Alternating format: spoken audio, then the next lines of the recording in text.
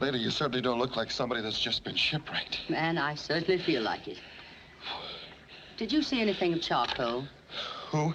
Joe, the steward. He helped me into the lifeboat with my things. I thought this boat was abandoned. Not by me, it wasn't. It looked pretty good to me.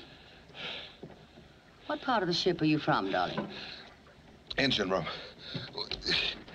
I was off duty in the washroom, thanks. Caught with my... I was washing my hands when the torpedo smacked us. Most of the crew were trapped like rats. When I got to topside, it was a shambles. Quite an item. Reminded me of an air raid once that hit me in Chungking. Reminded me of a slaughterhouse I once worked at in Chicago. Those Nazi buzzards, a tin fish ain't enough. They've got to shell us, too. Ah, now I can perfect my backhand. Get that, it might come in handy. Let's have the cap, too.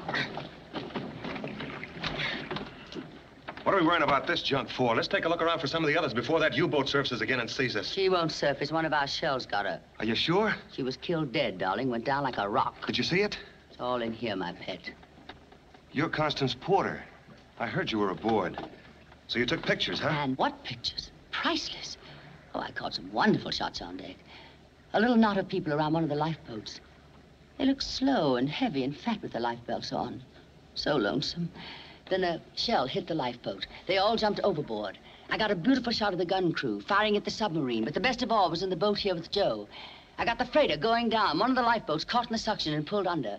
I got some of the U-boat crew jumping overboard, and I also got... Look! That's a perfect touch.